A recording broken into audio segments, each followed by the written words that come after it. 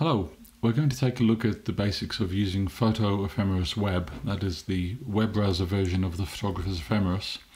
And I've created my own account and signed into that account, so if you would like to follow along with this tutorial, take some time and uh, create a free account for yourselves and sign in, and you should land at a page that looks pretty similar to this. The app will default, if you haven't used it before, to today's date shown up here at the top left and this location in Timbuktu. I'll show you how to change that later on. So we're just going to go through the basics today. I'll show you some of the key areas of the user interface. Uh, across the top in the header here, you can get to our main website by clicking on the logos there. Then these links here take you to different pages within uh, the app or to tutorials um, and to a page that lists updates that we make to the app so you can find out what's changed. You have the usual account profile and sign in, sign out functionality here at the top, top right. You can also change the language. So if you prefer to work in German, for example, you can switch to German.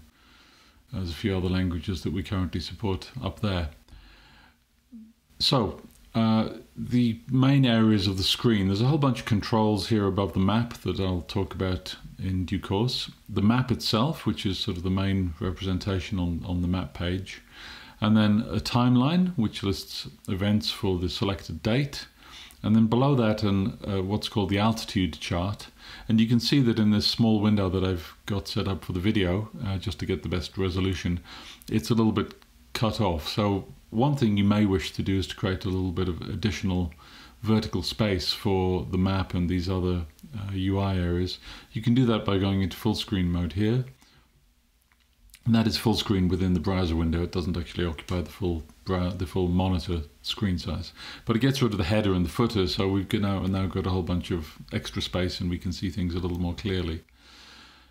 First things first, um, the what, what I'll do just to simplify the information that is shown a little bit further, I'm going to switch the moon off. By default, both the, the sun and the moon are displayed, but let me turn the moon off. I can click on the display settings there, toggle the moon off, and you will see that a, a couple of things have happened. The blue lines that were on the map have disappeared. Blue was um, used to denote the, the moon. Um, the events in the timeline no longer include anything related to the moon. It's only stuff that's related to the sun. And these twilight times are related to the position of the sun relative to the horizon. So, for example, civil twilight is when the sun is six degrees below the horizon, etc. And then here on the altitude chart, it's showing just the sun and because I'm logged in with a with a pro subscription, it's showing the nighttime hours here. That's what this little darkened area is in, later on in the evening and in the early hours of the morning. In this context, altitude means the angle of the sun relative to the horizon, so it's the elevation angle. And what you'll see, I'm just going to adjust the time of day. I'm going backwards, which probably doesn't help, but I can go, here we are, back to sunrise, and then advance through the day. And you'll see the time is updating. The positional information in the chart legend here is updating as I scroll. And then also there are some lines that are moving on the map as I change the time of day. I'll explain what those are in a little bit more detail. You can change the time of day by adjusting this time slider down here you can also select a certain time of day by clicking on an event in the timeline. So for example, if I want to set the time to the moment of sunrise, I can click 0, 537, so early in the morning, and uh, the time is updated, and you'll see that indeed the altitude of the sun is pr pretty much at zero, slightly below zero, because it's it's when the top edge of the sun or the upper limb appears on the horizon, and this is the ideal horizon without any obstructions, so zero degrees. And uh, the in the timeline here, you can see that little yellow-orange top border corresponds with the color of this line on the map. And indeed, that's how you can work out what some of these larger, the fatter lines on, on the map correspond to events in the timeline that have a particular color at the, at the top of the, the panel. So the sunset, click on sunset, and uh, the darker orange corresponds to this line here. So that shows you, if you were standing at the red pin, it says you would need to look in this direction here, which is an azimuth of 293.7 degrees. I'm reading that here from the timeline, and also it's because I've selected that event, it's it's shown as, as the azimuth in the chart legend as well. So that is um, essentially a bearing from true north and uh, it tells if you were using a, a, compass or wanted to reference it against some other data, having the numerical value is useful, but having it visually on a map is, is, is probably even more useful for the purposes of planning your photography. So what I what I'll do next, here at the top left, you can choose some different styles of, of map. If you're using a free account, you'll have, I think from memory, these first three. And OpenCycleMap is in fact a topographic map. So when I select that, you can see over here there's little hints of the um, contours and the topography of this flat area of desert. Let's go somewhere a little bit more topographically interesting to explore a couple of other aspects. So I'm going to click the search button up here and I'm going to type in Estes Park, which is where I'd like to go to. That's a town in Colorado, not, not far from where I live here in Boulder. I click go and that sets the red pin to Estes Park. I'll zoom in a little bit more and you can probably see there's a lot of mountains over here to the to the west, southwest of, of town. So the town is, is up here. Um, and this area is uh, the it's the Rockies, the Continental Divide, and in fact this whole area is part of Rocky Mountain National Park. And that's what we'll use for the example in the tutorial today. So what, what have we done? We've relocated um, the map pin from Timbuktu in Africa to uh, the west of, of North America. So a few things have changed as a consequence of, of making that move. For one, uh, we're still on June 3rd, so the date hasn't changed. The time zone has changed. That's looked up automatically based on the red pin position. So it's America slash Denver, it's six hours um, before GMT, otherwise known as Mountain Daylight Time. And it's Thursday, the June 3rd, and the selected time is 12.42 p.m. I'm using 24-hour clock here. Uh, what I can do, I'll, I'll switch it into 12-hour clock just to show you quickly how to do that. So come out of full screen mode, click settings, and let's go to 12-hour clock. Let's save that back to the map and there we are We've got AM and PM instead now. So the other things that have changed um, the up at the top right here it, it, gives you information about the position of the pin. Um, you can also see that by clicking the pin and it the same information pops up here. You can see that this is located 8,000 feet above sea level and there are the coordinates, the latitude and longitude uh, of, of the location in question. If I want to move this red pin, I can click on it, drag it and drop it, and that will recalculate all of the data for the sun. Let me go back into full screen mode here. All of this data here, the timeline events and uh, the, the altitude chart data is recalculated based on the position of, of the red pin here. So if I were to drag it up to this peak over here, you'll see that uh, tiny things change. It's a small distance, relatively speaking, but you'll see that the time of transit of the sun changed by one minute. Let's move that back. There you go. You can see that.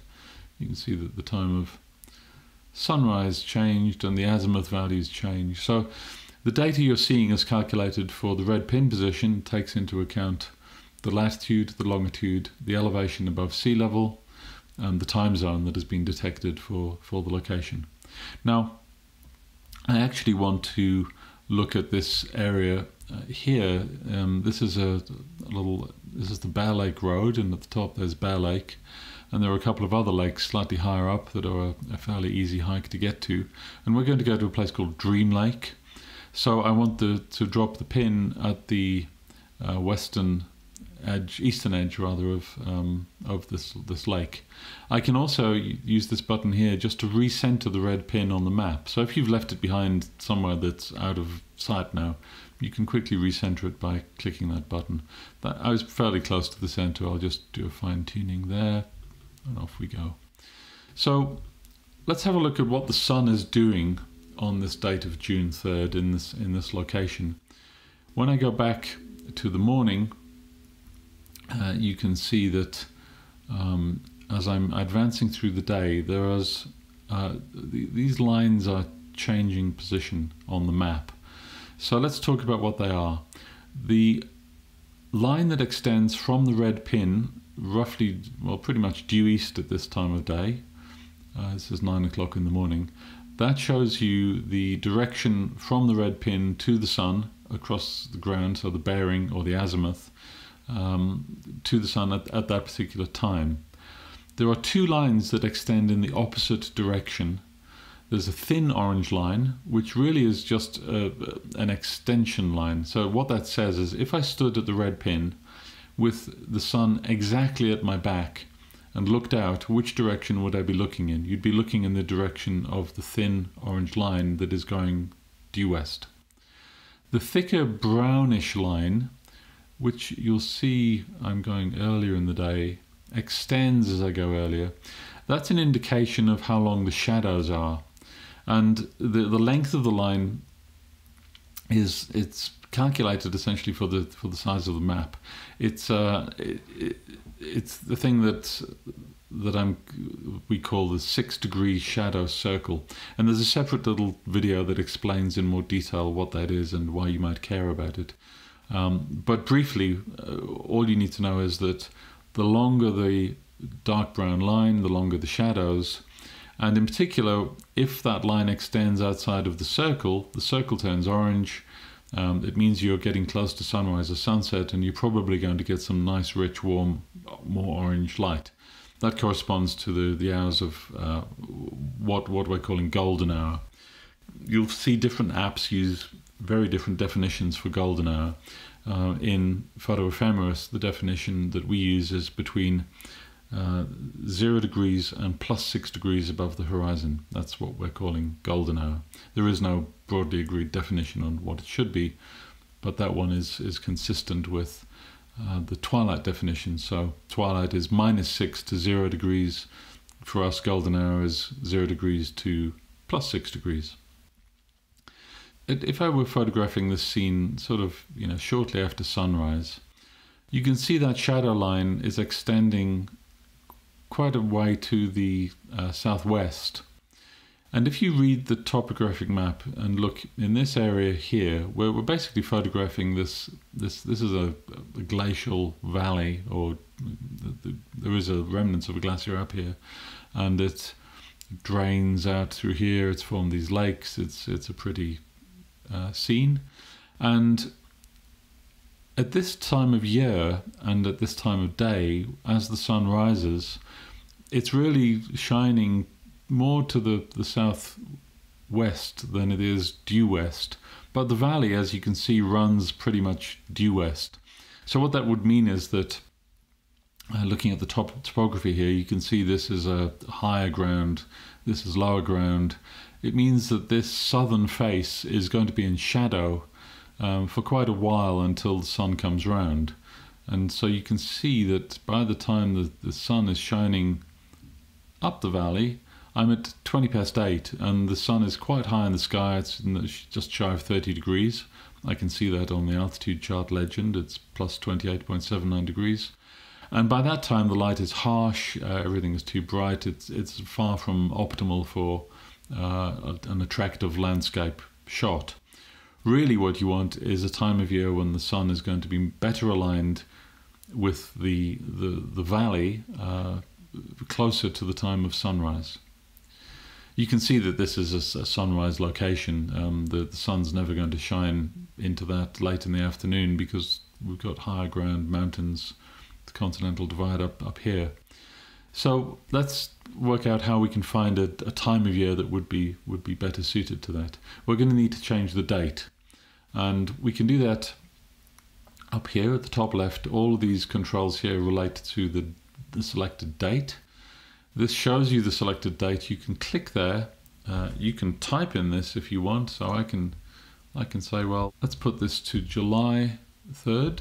And I just typed JUL for July and it changed. Or you can click here and I'll go to August 4th.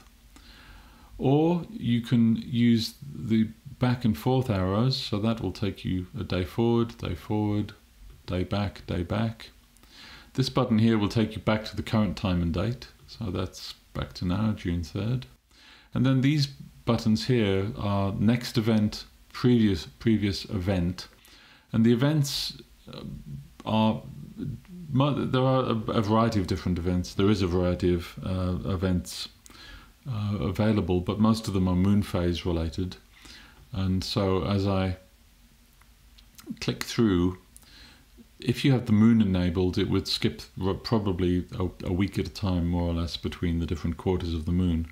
But because I have the moon disabled, it's going to the solstice on June 20th, and then the next event is the equinox on September uh, 22nd this year, in fact. But let's go back a few days and let's go to, let's try September 12th. So you can see here the sunrise direction has moved further south as we get later in the year. We're past the summer solstice, we're approaching the, uh, the autumnal equinox, which is roughly speaking when the, the sun will rise and set at 90 degrees. Not exactly 90 degrees. Uh, there's a blog post about that. I'll put a link into the this video for you to read about why it isn't exactly 90 degrees. But here on September 12th, we're a little bit, it's rising a little bit north of due east. And if I adjust the time of day to shortly after sunrise, sunrise is at 6.41. Here I am 10 minutes after sunrise, and you see that shadow line that's, that's extending to the west, just due south of west, and it's very well aligned with, with the valley. So what that means is that at this time of year, that valley is going to get frontlit, and by frontlit I mean the light is coming from behind the red pin, shining straight up the valley, lighting everything uh, with nice, warm, rich post just post sunrise uh, light. So that seems like a good time of year to maybe go visit this place for uh, photography purposes.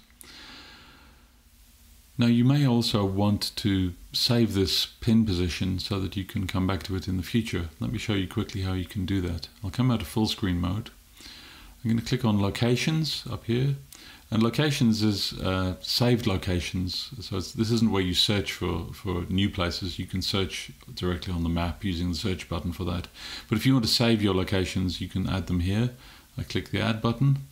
It's picked up the red pin coordinates and I will call this Dream Lake, Rocky Mountain National Park. You can add notes if you wish here as well. I save that.